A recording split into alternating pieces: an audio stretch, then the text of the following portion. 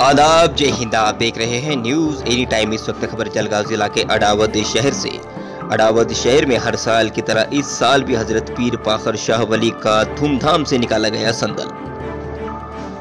आपको बताते कि हर साल की तरह इस साल भी टी टाइगर्स ग्रुप अडावत की ओर से इस कार्यक्रम का आयोजन किया गया। था